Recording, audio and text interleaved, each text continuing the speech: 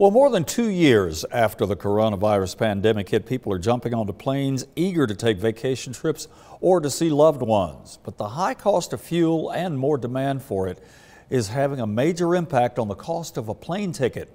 Caroline Corrigan spoke to a local travel agent on ways to save. If spring break crowds showed us anything, it's that people are looking to travel people are wanting to get out and see the world again. Amber Dixon is the owner of Limitless Destinations. She says people are ready to take vacations after many trips were delayed due to the coronavirus pandemic. But it might cost you more than you were expecting.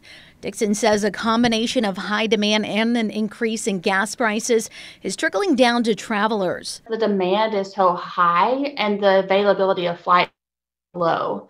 She says it's best to book early and use various resources like the Hopper app to try to track flights. It's also helpful to be flexible with your travel dates. Hey, if I travel on a Tuesday instead of a Saturday, I'm getting a better price.